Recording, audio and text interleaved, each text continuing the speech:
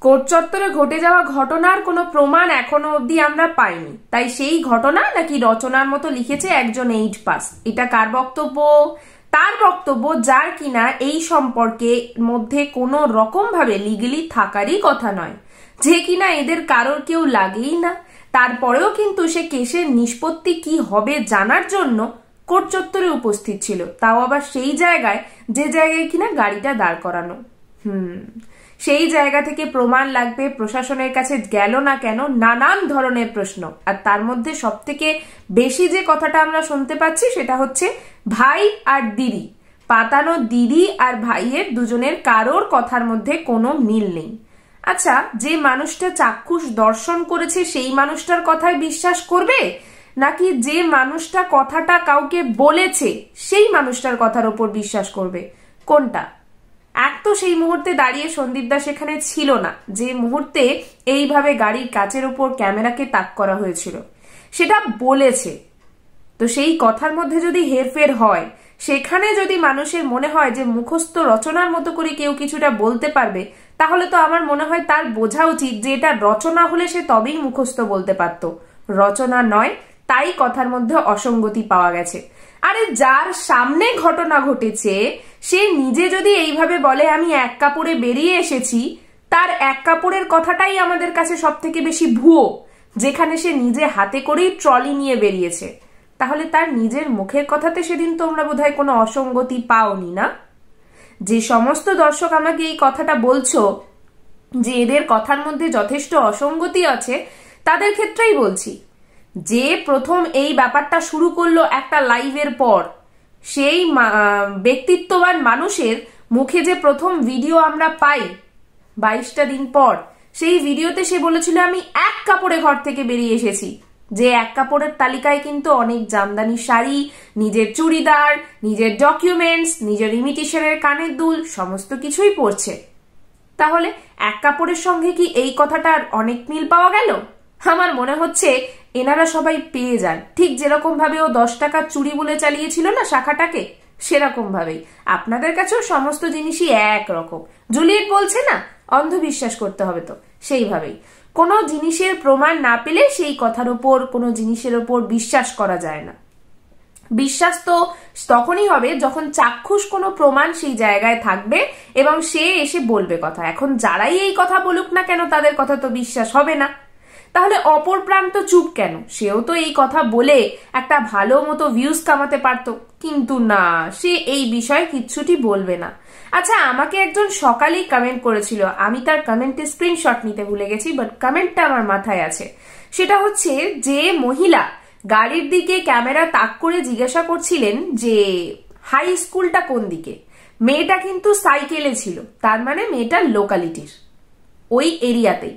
আর বসিরহাট চত্বর যেহেতু খুব একটা বড় নয়, তার মানে তার জানার কথা যে এখানে হাই স্কুল কোন দিকে বা কোট চত্বর কোন দিকে বা আমি কোট চত্বরের পাশ থেকেই যাচ্ছি হাই স্কুল কোথায় সেটা যখন ফোন তাক করে জিজ্ঞাসা করতে পারছে দ্যাট মিন তার হাতের ওই খেলনাটাতেও সে দেখতে পারতো যে এখান থেকে হাই স্কুলটা ঠিক কত দূরে। বাট সেখানে পথ চলতি কোনো মানুষকে না জিজ্ঞাসা করে সে কিন্তু গাড়ির ভেতরে থাকা মানুষগুলোর দিকেই ক্যামেরাটা তাক করেছিল। সমস্ত কিছু রটনা বা চক্রান্ত এরকমটা তো হয় না, তাই না? একজন যেরকম বলেছিল যে মোল্লার দৌড় কোন মসজিদ অব্দি সেটা আমার জানা আছে, বা সামনে পেলে আমি ঠিক নিয়ে চলে আসব। শুধু বউকে ছেড়ে দেওয়ার অপেক্ষা। ছেড়ে দেয়নি। শুধু ঘর থেকে চলে গেছে তার সামনে থেকে, তারপরেই বউ বেহাত। বউ আর ঘরে আসতে চায় না। মানে বউ নিজেই জানতো যে সে আর ফিরবে না। শুধু ওই লোককে মিথ্যে আশা দেওয়ার মতো ভুজুং বাজুং, আমি যে ভাবতে পারিনি আমি আর ওই বাড়িতে ফিরবো না। আরে ভাই, যে এটুকু বলবে না, তার মুখের কথার মধ্যে, তার আবভাবের মধ্যে, ব্যবহারের মধ্যে পরিবর্তন থাকবে। দেখা যাবে? দেখা যাবে? এটা হচ্ছে টোন। যে তখন দেখা যাবে বলেছিল, সে কিন্তু এখন দেখে নিচ্ছে না কিছুই। কারণ তার যদি বিষয়টা দেখার হতো, অত্যন্তভাবে মূল্যবান দর্শকদের ডাকে সাড়া দিয়ে আজকে তার কাছ থেকে একটা ভিডিও আমরা পেতামই, তাই না? এখন তো সবটা ভিউজের ওপর। তাহলে একটা দশ পনেরো মিনিটের ভিডিও আমরা পেয়ে যেতাম। কিন্তু না, গল্পটা তো ঠিক ছোকে নেওয়া হয়নি। যদি এই গল্প আমাদের সামনে আবার পুনরাবৃত্তি হয়, তাহলে জানতে হবে গল্পটা লেখা হচ্ছিল, তাই মাঝখানের এই পিরিয়ডের টাইমটা গ্যাপ গেল ব্লগিং থেকে। এটাই মানতে হবে। না হলে এইভাবে ব্লগে এই সময় ভিউজ কামানোর একটা যে, কি বলব, খুব সুন্দর চক্রাকার চক্রান্ত, সেইটা তো আর বাদ পড়ে না, তাই না? তোমাদের জন্য কিছু কথা রয়েছে। তার আগে আমি সন্দীপদার ভিডিওর দিকে যেতে চাই। সেটা হচ্ছে, আজকে দেখলাম সন্দীপ দ্বারা একটা সুন্দর নিমন্ত্রণ বাড়ি, পৈতে বাড়ি, আর কি অ্যাটেন্ড করেছিলেন। তো সেই জায়গায় যেখানে নিমন্ত্রিত ছিলেন ওনারা। আমার যতদূর মনে হলো ওই জায়গার নিমন্ত্রিতই ওনারা শুধুমাত্র জুলিয়েটের মারফত। অ্যাকচুয়াল সম্পর্ক তো জুলিয়েটের সঙ্গে। মানে কাকির ভাইয়ের বাড়ি। কাকির ভাই। কাকির ভাই তো জুলিয়েটের বাবাও। হিসেব মতো তো জুলিয়েটের পিসি কাকি। তাহলে কাকির যদি এই ভাইয়ের বাড়িতে কাকির সব পরিবারের নিমন্ত্রণ থাকে আর আগের দিন থেকে তারা বহাল তবিয়তে সেখানে রয়েছে দ্যাট মিন ওদেরও তো নিমন্ত্রণ থাকার কথা। ঠিক যেভাবে ছেলের বিয়েতে নিমন্ত্রণ করেনি, সেইভাবে বোধ হয় পৈতে বাড়িরও নিমন্ত্রণ তারা পায়নি।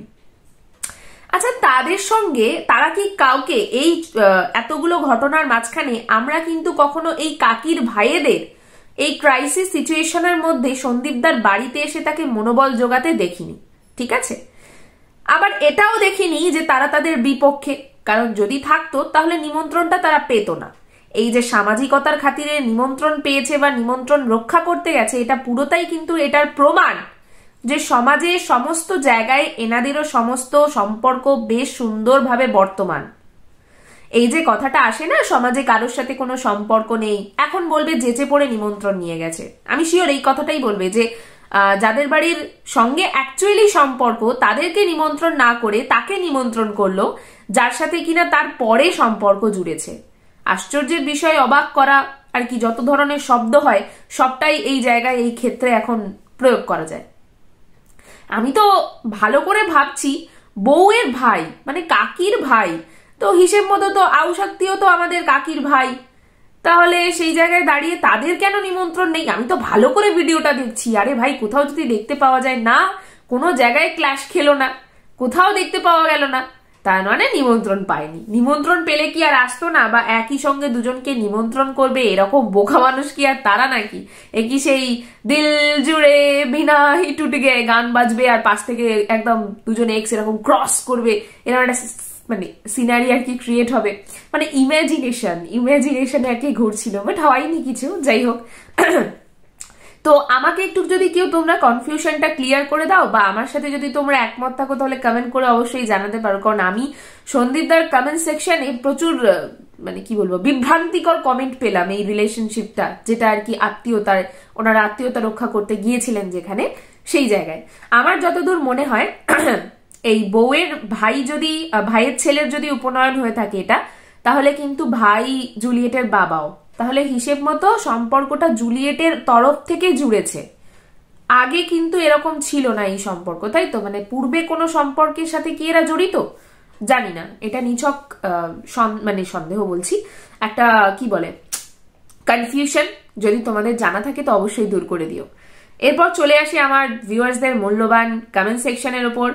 তো চলো শুরু করি প্রথম। প্রথম একটা ফেক অ্যাকাউন্ট থেকে কমেন্ট করা হয়েছে যে ফেক অ্যাকাউন্টটা অবশ্যই অবশ্যই আমার একজন ভিউয়ার্স কমেন্ট করেছিল শিবপ্রাদি তো লিখেছে ফালতু সন্দীপদার ভিডিওতে। ওখানে লিখেছে, তুই কে রে? লিখেছে, আমি চোর। তখন আরেকজন লিখেছে, একদম ঠিক বলেছিস। এক্স্যাক্টলি চোরটা কে তোমাদের মনে হচ্ছে? তার মানে এরকম ফেক অ্যাকাউন্ট কত কত ক্রিয়েট হয়ে রয়েছে। এই অ্যাকাউন্টের কিন্তু কোনো নাম নেই, কোনো ডিপি নেই কোনো রকম ভাবে কিছু নেই যেখান থেকে এদেরকে আইডেন্টিফাই করা যায়। তো এই সব ফেক অ্যাকাউন্টসগুলোর ওপর বেস করে এখন চলে ভিডিওর কন্টেন্ট অবশ্যই আমরাও বিভ্রান্তিতে পড়ে যাই যে হ্যাঁ এই যে কথাটা এলো, এটা কি নিছক গুজব? নাকি এর মধ্যে কোনো সত্যতা আছে? আসলে এগুলো কে ছড়াচ্ছে বা কারা ছড়াচ্ছে? কে এখানে নিজেকে চোর বলে প্রুফ দিতে পারে? তোমাদের বুঝতে নিশ্চয়ই অসুবিধা হচ্ছে না। যে কারোর বউকে ট্র্যাক করে, চুরি করে নিয়ে যায়। আশা করছি সে নিজের যোগ্যতাটা নিজেই কমেন্ট সেকশনে প্রমাণ করেছে। যাই হোক। আরেকজন লিখেছে, পাড়া প্রতিবেশী, আত্মীয় স্বজন যে সবার সঙ্গে তোমাদের সম্পর্ক আছে, সেটাই ভালো লাগে। আর তোমার শক্তি সেটাই। খুব সাবধানে চলাফেরা করবে। কি মনে হচ্ছে? কে যেন বলেছিল, পাড়ায় কারোর সঙ্গে সম্পর্ক নেই। ওই দুটো কথা লোক আত্মীয় স্বজনরা কেউ পাশে এসে দাঁড়ায় না। রিসেন্টলি দেখলাম কাকু গিয়েছিলেন, কাকুর বোনের ছেলের বিয়ে বাড়িতে আর কি থেকেও এলেন সেখান থেকে। সন্দীপ দ্বারাও গিয়েছিলেন। তো সম্পর্কটা ঠিক কার সাথে নেই? কার সাথে নেই সম্পর্কটা এই মুহূর্তে? না, একটা ছেলে four ninety eight A case চলছে যার মাথার উপরে। তাহলে সেই ছেলেটির সঙ্গে ঠিক কাদের যোগাযোগ নেই? তোমাদের মনে হচ্ছে? আচ্ছা। কাকি মানে কৃষ, কৃষুর মায়ের পিসি তো? হ্যাঁ হ্যাঁ হ্যাঁ। ঠিকই বলেছেন।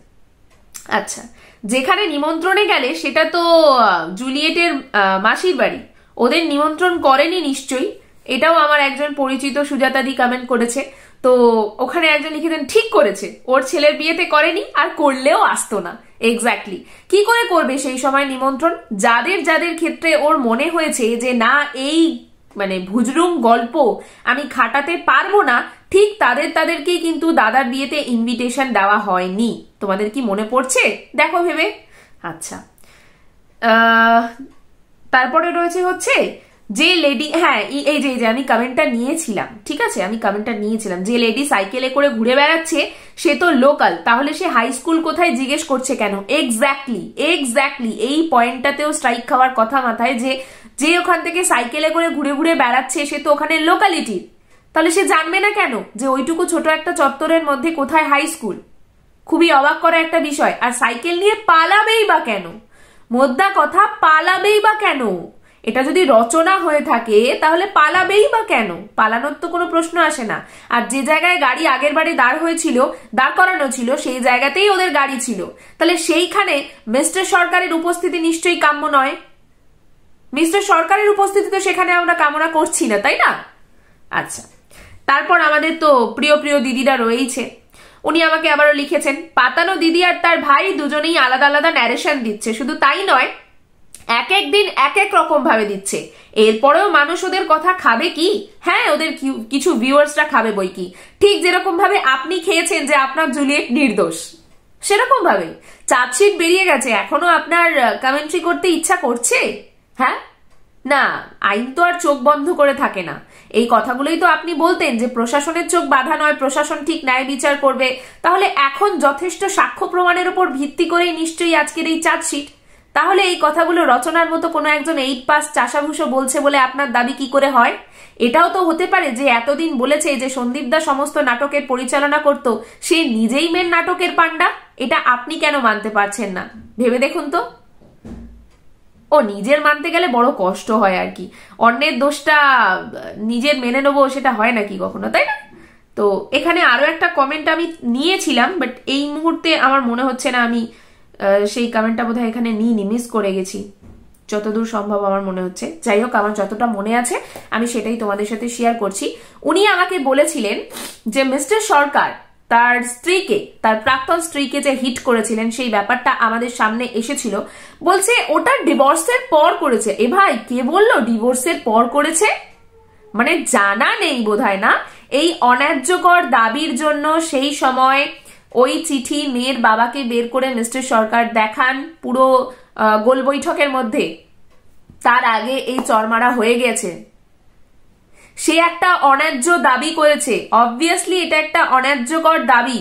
সেই চিঠিটার ওপর বেস করে ডিভোর্স নিয়েছে, শুধু সেই লিখিত চিঠিটার ওপর তাহলে এখানে তো দিনের পর দিন নিজের প্রাইভেসি মেনটেন করে, যদি না তার হাজবেন্ড কোন রকম ভাবে হোয়াটসঅ্যাপের কিউআর কোডটা স্ক্যান করে নিজের লাপিতে সমস্ত মেসেজেস না দেখতেন, তাহলে তো কিছু বুঝতেই পারতেন না। সমস্ত কিছু এখনও ধোয়াশার মধ্যে রইতো, সংসারটাও চলে যেত। ডাবল গেমের মতো করে সমস্ত কিছু ঠিক প্লে হতো আজকেও। কি মনে হচ্ছে? দুটো বিষয় এক নয়। ও আচ্ছা আচ্ছা আচ্ছা। এখন যেহেতু সে নিজে ওই মানুষটাকে বেছে নিয়েছে, তাই সেই মানুষটা ভীষণভাবে কারেক্ট কি মনে হচ্ছে আপনার? কি করে এই জায়গায় মিলিয়ে দেন সমস্ত কিছু? এইটা মেলানোর মতো কিছু নেই তো? প্রভোগ করা আচ্ছা ওই বিষয়টা আমি ছেড়ে দিলাম।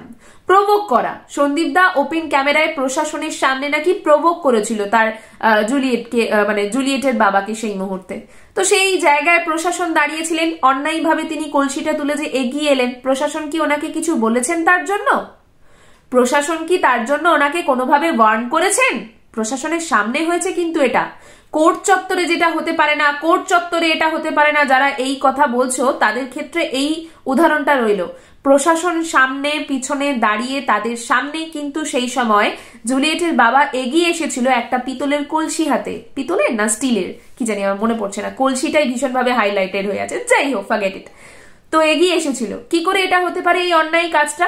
সে দোষ করেছে, আইন তাকে শাস্তি দেবে। কোনোভাবে নিজে হাতে তো শাস্তি মানে আইন তুলে নেওয়া যায় না। তাই তো? তো এই জায়গায় দাঁড়িয়ে তার কোনো দোষ নেই নিশ্চয় যেই কথাটা আপনারা বলেন যে সেই সময় বউ পরকিয়া করেছে, বাড়ি থেকে বের করে দেওয়া উচিত ছিল, তাকে সসম্মানে তার বাবার বাড়িতে দিয়ে আসা উচিত ছিল, নিজের হাতে কেন আইন তুলে নেবে? নিজে কেন ডোমেস্টিক ভায়োলেন্সের দিকে এগিয়ে যাবে? এক্স্যাক্টলি গো, মাথা ঠিক রাখা সম্ভব হয় না। তাদের ক্ষেত্রেই এই উত্তরটা। মিস্টার সরকারও সেম কেস করেছিলেন, শুধু বইয়ের এই অন্যায্যকর দাবির চিঠি মেনে নিতে পারেননি। আর আঠাশটা দিনের মধ্যে যে কতদিন সন্দীপদা সমস্ত কিছু জেনে বুঝে সহ্য করেছে তারপর গিয়ে তার বউকে সমস্তটা খোলাসা করে জিজ্ঞাসা করায়। সে তার বান্ধবীর সাথে ওপেন কলে রয়েছে। সেই মুহূর্তে মনে হয় তার বর তাকে হিট করেছে বলে? না।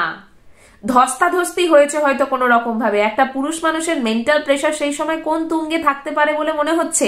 যারা রোজ আমাকে এই কমেন্টটা বেসিক্যালি করো তোমরা, বেশি বেশি করে করো তাদের মধ্যে একটা কমেন্ট ভীষণ হাইলাইটেড হচ্ছে যে এই ঘটনা যখন চলছিল, সন্দীপদার কাছে কিছু ফুটেজ ছিল। সেই ফুটেজগুলো আমাদের সামনে এখনও এলো না কেন? কি স্ট্রাইক খাবে বলে?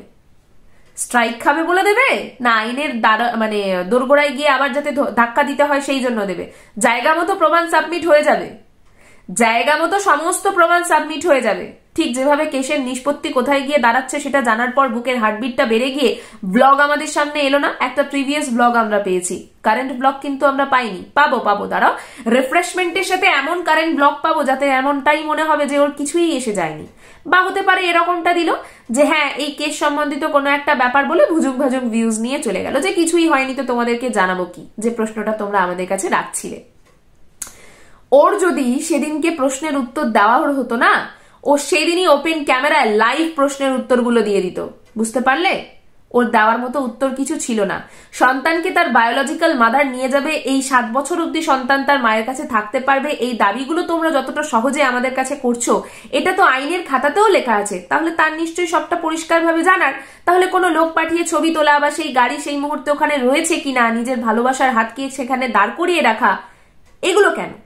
তার নিজের উপর আত্মবিশ্বাস নেই নিজের কর্মের ওপর আত্মবিশ্বাস নেই? ও, আমাকে আবার লাভ লাইফ ইউএসএ আমি জানি না ওনার আসল নাম কি, উনি আবার এই কমেন্টটা করেছিলেন যে, কি মনে হচ্ছে, শুধু তার ভালোবাসার মানুষের সেখানে দাঁড়িয়ে থাকাটাই হচ্ছে এরকম একটা হামলাকারীর মতো গল্প ছড়িয়ে দেওয়ার কারণ? এক্স্যাক্ট যেখানে কোনো প্রমাণ নেই, তোমার কি মনে হচ্ছে না এটা কোনোভাবে একটা রচনা? আচ্ছা আপনার কেন মনে হচ্ছে না যে ও ওখানে শুধুমাত্র দাঁড়িয়ে ছিল না? আপনি যেটা আমাকে ভাবতে বলছেন, আপনি তো নিজেও এটা ভাবতে পারেন যে সেই মুহূর্তে সে ওখানে শুধু শুধু দাঁড়িয়ে ছিল না, যেখানে তাদের কাজ মিটে যাওয়ার কথা ওই দিক দিয়ে, কোর্ট চত্বরের সামনের গেট দিয়ে বেরিয়ে যাওয়ার কথা। পেছন দিক দিয়ে নয় কিন্তু। তাহলে সেই জায়গায় সে সেখানে কি করছে? নিশ্চয়ই তারা সবাই এরকম ভাবে গাড়ি ধরে নিয়ে আসেনি। আমরা কোনোদিন দেখিও নি ওদের কোর্ট চত্বরে এইভাবে কোনো বুকিং গাড়ি নিয়ে যেতে। খুব জোর তারা টোটো নিয়ে গেছে। এর বেশি তো নয়। তাহলে সেই জায়গায় দাঁড়িয়ে কি করছিল? আমরা তো শুনেছি সেই জায়গায় কোনো গাড়ি ঘোড়া ছিল না। তাহলে সেই মুহূর্তে কানে ফোন নিয়ে কোন গাড়িকে খোঁজ করছিল? অ্যাকচুয়ালি দেখতে এসেছিল যে সেই সময় সন্দীপ দা ঠিক গাড়িটাকে ফোন করলে গাড়িটা কোন দিক থেকে আসে আর কোথায় গিয়ে দাঁড়িয়েছিল বা সন্দীপ দা ঠিক কোথায় গিয়ে গাড়িতে ওঠে, সেটা জানার বিষয় ছিল ওদের কাছে। বোকা বোকা কথা যদি আমাকে বলেন যে হ্যাঁ আমি বোকার মতো বলছি, তাহলে আপনার কাছে কি প্রমাণ? আর আপনি যে চালাক, সেটা প্রমাণ করুন। আপনি যে চালাক, সেটা প্রমাণ করুন। আশ্চর্যের বিষয়। এসব অত্যাশ্চর্য ঘটনাগুলো যখন ঘটেছে না, তখনও কিন্তু মেয়ের মা বাবার একটাই দাবি ছিল যে সেই সংসারে মেয়েকে পাঠানো হবে একটা শর্তের বিনিময়ে। সেখানে শুধু শাশুড়ি থাকবে না, সেই অত্যাচারী স্বামী কিন্তু থেকে যাবে, যে অত্যাচারী স্বামীর ওপরে ফোর নাইনটি এইট এর কেস করা হয়েছে। যে স্বামীর কাছে নাকি দুই মাসের বেশি থাকলেই তার প্রাণ সংশয় হয়ে যাবে, সেই স্বামীর কাছেই কিন্তু শর্ত সাপেক্ষভাবে পাঠাতে মেয়ের মা বাবা রাজি ছিল। মনে পড়ছে? না, এটা তো ধোঁয়াশা হওয়ার মতো কিছু নয়, তাই না? তাহলে কি করে এই জায়গায় পাঠাতে রাজি ছিল? যে জানে যে আমার মেয়েকে আমি যে মুহূর্তে গিয়ে গলায় জড়িয়ে ধরলাম, যে মা জানে বিষয়টা, সেই মুহূর্তে আমি না গেলে আমার মেয়ের কি অবস্থা হতো? যে মা তাকে দোরগোড়া থেকে নোড়া হাতে করে উদ্ধার করে এনেছে, সেই মায়ের তো জানার কথা। যে আমার সন্তান কি পরিস্থিতিতে ছিল, তারপরেও সে শর্ত রাখছে কি করে সেই বাড়িতে ফেরত পাঠাবার জন্য? আসলে ভীষণ সিকিওর একটা ভবিষ্যৎ পেত তো? রাজমহলের মতো বাড়িটা হাতছাড়া হয়ে গেল। আমি জানি তোমরা বলবে রাজমহলের মতো বাড়ি হলেই যে সেই জায়গায় সমস্ত সুখ আছে। তুমি সেটা কি করে বলছো? না, আমি সুখী এইসব অসুখী, এইসব ব্যাখ্যাতে যাচ্ছি না। যে জিনিসটাকে এখন মানুষ বেশি করে আমার কাছে প্রমাণ করার চেষ্টা করছে, বিশেষ করে কমেন্ট সেকশনে যে হ্যাঁ ও যেটা করেছে সেটা খুব একটা দোষের নয়। বাট ম্যান্ডি যেটা করেছে সেটা অনেক দোষের। বা মিস্টার সরকার যেটা তার স্ত্রীর সাথে করেছে সেটা ন্যায্য বাট সন্দীপ দা যেটা করেছে সেটা ভীষণ দোষের। কি করে হয়ে যায়? ক্ষেত্রগুলো সব এক। সমস্ত ক্ষেত্র এক। যে যার মতো করে সে তার নিজের পরিস্থিতির শিকার। ও ওই মুহূর্তে দাঁড়িয়ে যদি নিজের সেফটি বজায় করে চলে যেতে চাইতো না, ওর প্রাণ কাঁদত ওর সন্তানের জন্য। যেভাবে ও ঠিক ব্যাকআপ প্ল্যান হিসেবে রেডি করে রেখেছিল, যে মুহূর্তে তোকে যেদিন বলব সেদিন সম্পর্কটা তোকে শেষ করতে হবে। ঠিক সেভাবেই তার এটাও ভাবা উচিত ছিল যে আমি যেদিন বেরোবো, আমার সন্তানকে নিয়ে কি করে বেরোবো বা কি অজুহাতে বেরোবো। যদি ওর এটা ইচ্ছে হতো যে আমি সম্মানের সাথে সেই বাড়ি থেকে বেরিয়ে যাব, ওর কাছে অনেক সুযোগ দিয়েছে ভগবান, সম্মানের সাথে বাঁচার মতো। লাইভ করে ওর বরকে এইভাবে মানুষের কাছে ছড়িয়ে দিতে হতো না ওর পরকিয়ার খবর। যদি সেটা ও সসম্মানে মায়ের বাড়িতে থাকাকালীন অ্যানাউন্স করে দিত। তো আজকে দাঁড়িয়ে এখন আমার পক্ষে যতটা সম্ভব হয়েছে আমি পরিষ্কার করার চেষ্টা করেছি বিষয়বস্তুগুলো। এরপরেও যদি কোনো জটিলতা থেকে থাকে, তাহলে তো বলব জটিল করছ তোমরা। যারা নিজেরা বুঝেও সমস্ত কিছু চোখের সামনে থেকেও বুঝতে চাইছো না। ব্যাপারটা কিন্তু এরকমই। স্বামী নিখুঁত, না বউ নিখুঁত, স্বামী ধোয়া তুলসী পাতা, না বউ ধোয়া তুলসী পাতা, তার থেকেও বড় কথা হচ্ছে, এখানে এখন বিষয় হচ্ছে four ninety eight A case domestic ভায়োলেন্সের জন্য যেটা হয়েছে, আর আরেকটি হচ্ছে ডিভোর্স কেস যেটা তার স্ত্রী করেছে। পরকিয়ার জন্য পরকিয়ার সম্পর্ককে প্রাধান্য দেওয়ার জন্য।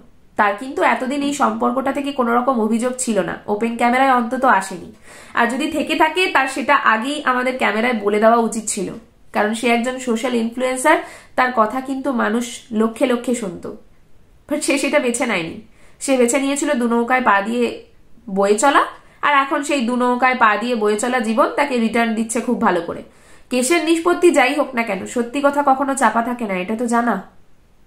সমাজে কেউ মুখ দেখাতে পারে কি পারে না সেটার প্রমাণ কিন্তু আজকের ভিডিও সন্দীপদার চ্যানেলে তো আজকের মতো ভিডিওটা এখানে শেষ করছি। আসছে খুব শিগগিরই একটা নতুন ভিডিও ভিডিওটা ভালো লাগলে do like comment share subscribe our channel stay connected with us tata.